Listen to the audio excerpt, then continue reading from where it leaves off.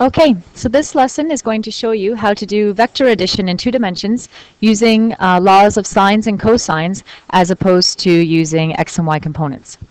Uh, before we begin, just a quick reminder of uh, how the laws of sines, sines and cosines work and what they are. Um, as you can see on the board here, there's a triangle. Remember that we always note angles with capital letters and side lengths with lowercase letters. And the law of cosines tells us that you can find a side length given one angle and two other side lengths. Uh, law of sines tells us that, and this would apply for sine A over A, sine B over B, also sine C over C. So for any given two sides, you can find an angle if you know the other two sides and one other angle. Um, yeah, so if you want to take a moment and write that down, you can go ahead and pause the, pause the video. Otherwise, I'm going to move into an example that we did yesterday in class with the chickadee, uh, but we solved it using um, x and y components. Now we're going to solve it using law of sines and cosines. So here it is. Here's the example that we did yesterday in class, but we're going to solve it using a different strategy. And you're going to find that the strategy is much shorter, but there's actually a little bit of more room for error. And it's not as strategic as using just one step than the next as we do with x's and y's. The first thing that you do when solving a problem with sines and cosines is you actually draw a picture and you draw a, a vector diagram or a vector triangle because we, if we're going to use sines and cosines we need a triangle. So how you do that is you begin by identifying sort of the first in the, the first vector because essentially what we're doing is a vector add. We're, we're looking for an overall displacement which is going to be d1 plus d2 where d1 is the first motion of the little chickadee, and D2 is the second. So we're actually going to draw sort of what the chickadee's path would look like, and then we'll draw a vector to represent the actual overall displacement. When you draw the vectors, you don't need to draw it to scale, though if you did draw it to scale, you could actually make the whole problem simpler by just measuring the answer and measuring the angle, but we're not going to do that. We're going to estimate. So I'm going to draw this vector, uh, D1 vector, 125 meters, 35 degrees east of north. I'm going to start that by drawing just a little coordinate axis right there, just to give me a reference, because I'm going to have to be able to figure out all the angles later.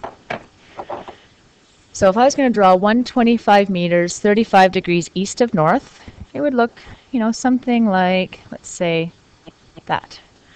Keeping in mind that this angle right there is uh, 35 degrees because this would represent north and so in between the north and my vector is uh, 35 degrees. So I'm just going to write that side length on there, 125. And notice I put the arrow, the arrow to represent that it is a vector, not just a triangle.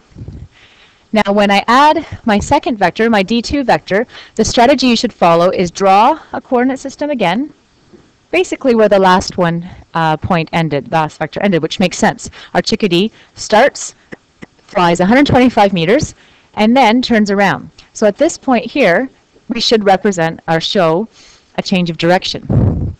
And so from this point, our chickadee goes 75 meters south, 64 degrees east. Well, remember, south is down here, and then 64 degrees east, so it probably looks something like that. Okay, where this angle right here would be the uh, 64 degrees. And this length here will be 75 meters. Again, I'm estimating the length, so it's not going to be a perfect triangle, but you want to make it look approximately right. Essentially then, the overall displacement, the resultant displacement for our chickadee is from where her path started to where her path finished. And this is delta D. So two things we have to find. We have to find the magnitude of delta D, but we also have to find the angle. And we'll get to that later, but essentially it's going to involve finding this angle right there. And I'm just going to leave that, and we're going to work first on finding the magnitude of delta D. This is where you remember cosine law. And if you remember cosine law, that would tell you that delta D squared equals 125 squared plus 75 squared minus 2 125 75 cos of the opposite angle. Now, right now, I don't know my opposite angle. If you look, I've got 64 degrees here, but I don't know the full contained angle. This is where you do use what you learned in grade 9 math. Um, I'm going to use the Z law for parallel lines because I have a parallel line on my two axes. Over here, by the start of my D1, I've got one line that goes straight up and down representing north. And over here, by my 64 degrees, I've got another line that goes down. Knowing that this is 35 degrees and following my Z, following the Z along, you should realize that this too is going to be 35 degrees. I'm just showing my parallel lines. So that means that the contained angle across from delta D is going to be the sum, or 99 degrees, the sum of 35 and 64. So now, when I use my cosine law, I now know what angle to put in beside cos. It's going to be cos 99. I'll leave you to work through the math, and you end up and just give you the answer of 155.6, which you should know because that's about what we got yesterday using um, x and y components. So now we know the magnitude of our delta D. Now it comes to finding the angle. To find the angle, we need to look at this theta inside, and we have to solve for theta. That's not going to give us the whole picture, but I will show you how we can get the delta D, because we want to be able to express it in terms of north and east. So just the contained angle in the triangle isn't enough. We need to relate it. So if we get, I'm just going to redraw, sort of make everything a little bit bigger here. So this vector sort of represents my 125, where this is 35 degrees here. Here's my delta D with my theta. So to solve, I can either find, ideally I think what I'll do is I'll find theta, this is delta D right here, and then once I know theta, I can then report delta D as being 35 plus theta east of north. Okay, so that's how we're going to approach it, and we're going to solve the triangle using uh, sine law. We have enough information to do that because I can say that sine of theta over 75 equals sine of 99 over my delta D, which is 155.6. And rearranging, you can say theta equals sine minus 1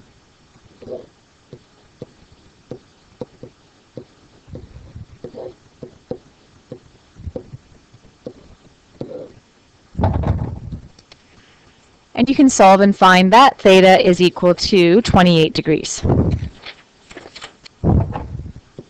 Remember, it's okay to stop the video at any time to work through the math on your own or um, just to you know reflect upon what I'm saying if I'm going a bit quick for you. Okay, so once you know theta equals 28 degrees, so here's 28. And I want to report my final answer. I'm going to do that right here. I'm going to say that the angle between um, between the north and my delta D is going to be 35 plus 28, which is equal to uh, 63 degrees. Therefore, delta D is equal to 155 meters, or 156 meters rounded, uh, 63 degrees east of north. Remembering that I've got the north, and I'm going to travel uh, 63 degrees east, and I get my delta D. Now, if you remember from if you look at yesterday's solution with x and y components, I think we said the angle was um, 27 degrees north of east, and they are the same. So you could also report that as 155 meters, 27 degrees north of east. So that's an example of using sines and cosines to solve. If you like that strategy, you're totally welcome to use it, knowing that at some point you're going to have to come back to x and y components for other parts of the course. Um, just quickly, if you'd like to go through, page 15 in your textbook has another sample problem you can look at.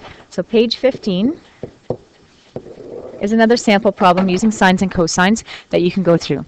The other thing is if you're in calculus class, you'll have to learn this method anyway. So it might be good for you to spend some time on.